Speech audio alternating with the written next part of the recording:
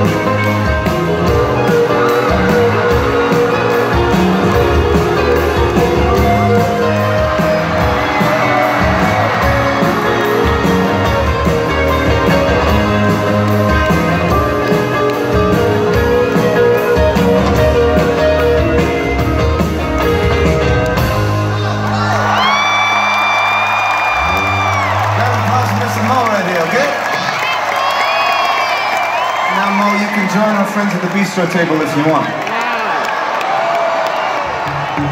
you want.